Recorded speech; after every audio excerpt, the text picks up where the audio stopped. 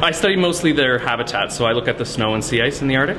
Uh, what I think will happen, or what I'm predicting, is that there's a lot of variability in the system uh, that we're, we're assuming. So it's going to be conditional on a, a, number of different factors. Uh, a lot of the media right now is focusing on climate change being the big factor and the negative impact. Some, again, some populations will thrive in that. There'll be more ice movement, creating more preferable habitat for the bear and the ring seals, which they feed on. Um, so again, certain populations will have a have a better chance of surviving. Other populations won't. So I think the key is that there's going to be a lot of spatial variability.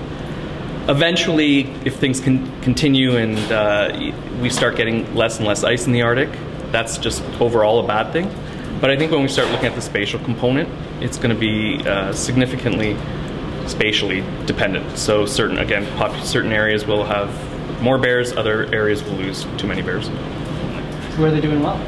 Where? Uh, in the mostly in the Canadian Arctic, in the uh, archipelago, in the islands. They're, uh, they're, the ice is still there, the snow is there, so they're still um, being able to maintain their food source and, and uh, some of those populations, uh, there's not a high number of bears, so they're not out competing each other.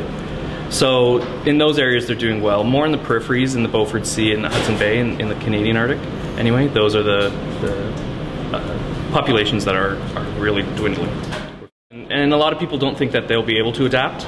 Uh, they won't be able to move uh, further north uh, at the rate at which we're losing ice in those areas and snow.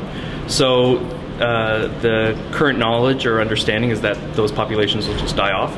So we'll lose part of the part of the genetic structure of the of the bear in terms of uh, losing those populations.